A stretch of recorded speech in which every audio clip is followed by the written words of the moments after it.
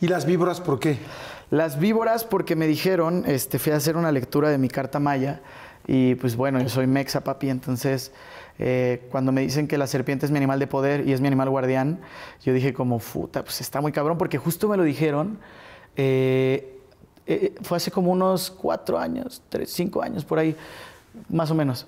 Me lo dicen, este, y yo acabo de grabar un video musical que se llama Regálame, que es una canción que saqué hace unos años con Andrés Torres y Mauricio Rengifo, son los productores de Despacito. Entonces, este, saco esta rola y en la rola yo le dije a la producción así como, oigan, quiero un animal exótico. ¿no? Porque por el concepto del video se supone que estaba en una mansión y la madre dije, quiero un animal exótico. Y la producción me con- consiguió una víbora, un, un pitón así amarillo. Y yo dije, madres, ¿no? Y, y después del styling del video musical me llevó una playera con una serpiente.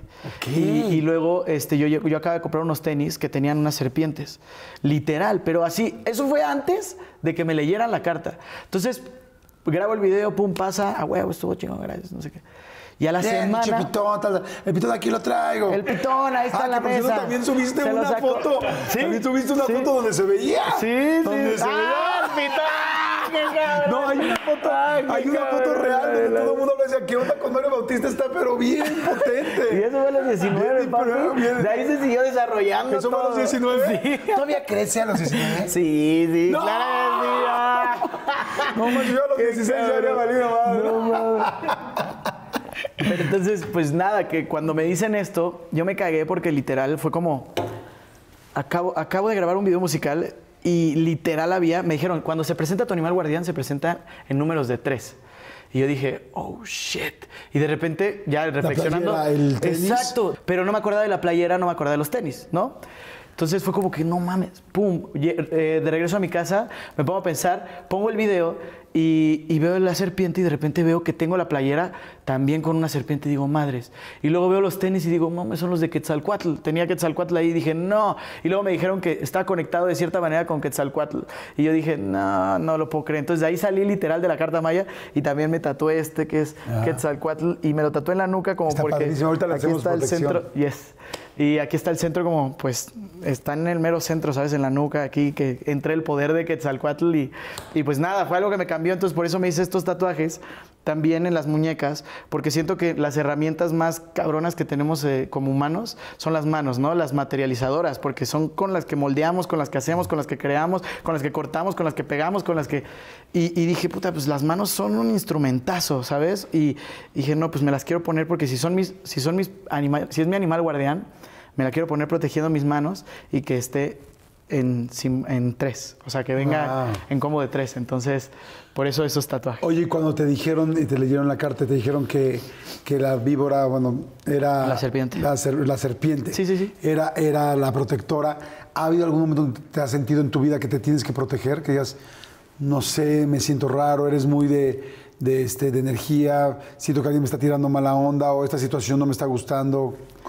en algún momento de mi vida puede que lo pude haber sentido así, más no lo sentí así, pero sí llegó un momento de mi vida dentro de mi carrera artística este, que pues tenía alrededor a personas que no eran las adecuadas, ¿sabes? Porque pues fue mucho, como dices, ¿no? Fue mucho el éxito, fue mucho las cosas, de repente se llenó mi vida de personas porque pues había muchas responsabilidades, de o sea, tenía 17 años, ¿sabes? Y, y, pues de repente te dicen, toma, tienes una empresa que hace, o sea, que que trabajan 30 personas y esas 30 personas son 30 familias que dependen de lo que estás haciendo, ¿sabes? O sea, es como que mucha responsabilidad a los 17 años. Y entonces pues yo empecé a contratar mucha gente pa- para, para que me ayudara con todos los rubros. Y, y, pues bueno, la vida te va enseñando, ¿no? La vida, uno va aprendiendo, son lecciones que le manda la vida para prepararlo, para preparar el camino de cada uno. Y, y, pues sí llegó un momento en el que yo cuando volteo a ver ese- esa parte de mi carrera y ese momento de mi vida, digo como, wow, necesitaba, o sea, me alejé de mi familia, me alejé de mis amigos, estaba enfocado solo en el trabajo, solo en el trabajo, solo, solo, solo trabajo, solo trabajo. Y, y- y entonces estaba rodeado de personas, como estaba 24/7 yo pensando en trabajo, pues estaba rodeado de personas que estaban pensando 24/7 en trabajo. Y, y, pues sí, yo creo que en ese momento de mi vida sí necesitaba protección, pero de ahí en fuera, no, he tenido una vida pues eh, que, que valoro mucho y que agradezco mucho. Qué bueno. Oye, la infancia, este, ¿cómo se llevaban entre los... Bueno, me dices que pues, había mucha testosterona, tres hermanos, se peleaban, ¿había mucho golpe o no? Sí, sí, sí había. No mucho golpe, pero sí había golpes, y sí había peleas, y había rounds, y había de que, ¿sabes? Pero también así como había eso, había momentos increíbles, eh, y nos, sentábamos a echar las retas, siempre. O sea, ¿Qué jugaban? Era Years of War. Es un juego para Xbox 360, Xbox 360 literal. Sí, sí, Echamos ubico, el, ubico, el- no, que Ah, huevo.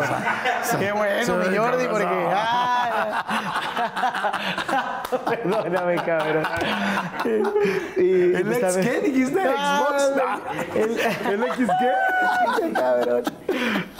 No, sí, sí, Gears of War. ¡Ay, este- perro! ¡Ay, perro!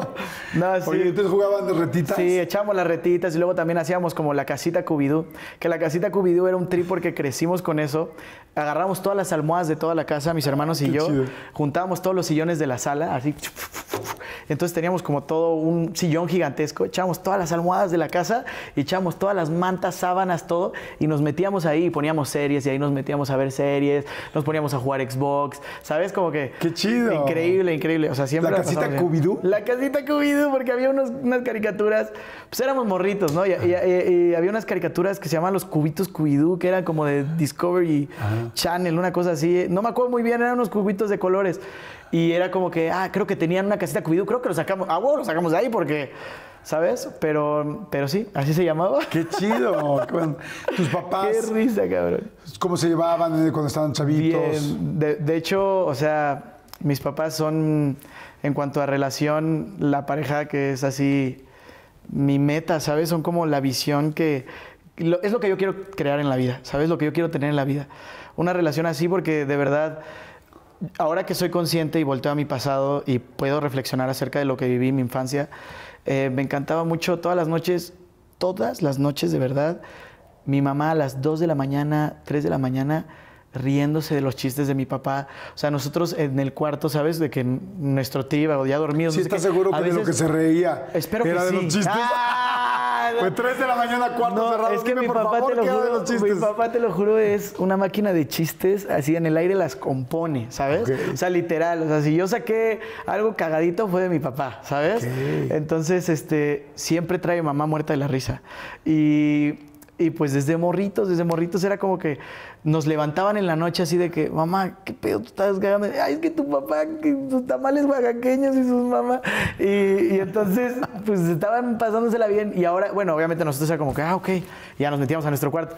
Pero, pero ahora que lo veo, ya desde una perspectiva más consciente y ya grande, digo como, puta, qué chingón, ¿sabes? Yo quiero eso. Claro. Qué, qué- qué chido, pues sí, porque además uno aprende mucho de la pareja según lo que está viendo en su casa, 100%. ¿no? No 100%. tienes idea lo que vi yo, pero... Ah, qué no, y real, real sí, pero qué padre que puedas, este, que puedan tener esa, pues ese ejemplo. Sí, de- sí, sí. Oye, y eso que dices de cagadito y de chistoso, este, ¿lo llevabas también, por ejemplo, a la escuela y así? Sí, sí, sí. Siempre era el, el alumno que regresaba con todos los sellos así de que cotorro. Ya sabes, la maestra que te pone en el diario. Este güey habla mucho, habla mucho, habla mucho. A unos profesores les zurraba, a otros eran como que le decían a mi mamá. Mi mamá siempre me cuenta, ¿no? Como que, este, la misma Marisa, cuarto de primaria. Miss Marisa, le mando un beso gigantesco. No sé si esté viendo esto, pero ¿Del si está viendo esto. Del ¿Marisa Queen. del Queen? Del ¿No Queen del Queen? School. Sí. Del Queen. No de la Wii. manches. Sí, sí, sí. Del Queen Mary School. Sí, sí, sí. No manches. No, no, no. lo- ¡Ah, te la mamaste, güey! ¡Ah, te la mamaste! Pero Miss Marisa, la Miss Marisa le decía a mi mamá como, le pongo bien, el sello de... Estaba muy bien. a mi